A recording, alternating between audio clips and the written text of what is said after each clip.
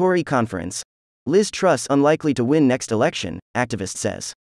The Conservatives are all but certain to lose the next general election, a pollster told a plenary session at the party's convention. The panel has devastated Liz Truss' first few weeks in power, hinting that it may be nearly impossible to break his double digit polling lead in Labour by 2024. Ricefield.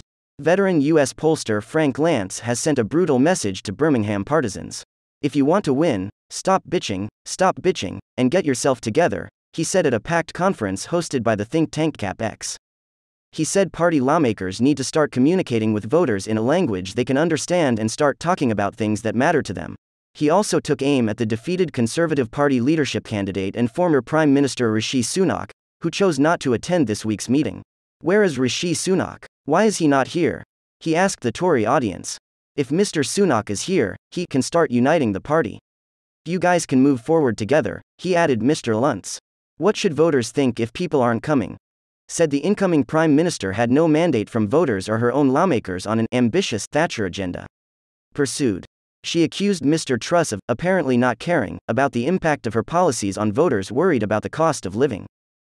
Wolf, co founder of the polling firm Public First and former advisor to Michael Gove, says Truss is a strong leader like Margaret Thatcher and unafraid of unpopular politics. Squashed the claim. She said the crucial difference between the two was that Mrs. Thatcher had suffrage and parliamentary power over her policies and was able to articulate them in a way that resonated with the general public.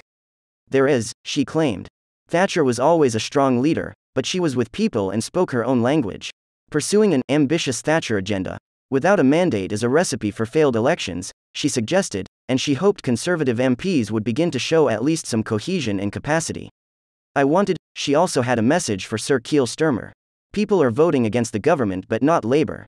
It's not about whether they're strong, whether they have their own opinions, whether they don't like the constituency as a whole, or whether they think it's not worth considering. James Johnson, founder of the polling firm JL Partners, who ran closed door polls and polls during Theresa May's premiership, says he set the tone for the party by choosing another new leader. Boris Johnson didn't qualify after Partygate, but it only hurt his own reputation, not the Tory brand as a whole, he told the rally. Unfortunately, I think things have changed. This is damaging not only Liz Truss' brand, but the Conservative Party's brand. We are getting this great new leader.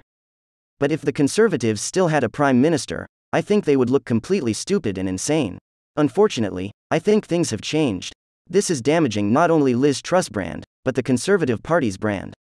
We are getting this great new leader. But if the Conservatives still had a prime minister, I think they would look completely stupid and insane. Think things have changed. This is damaging not only Liz Truss' brand, but the Conservative Party's brand. We are getting this great new leader. But if the Conservatives still had a prime minister, I think they would look completely stupid and insane.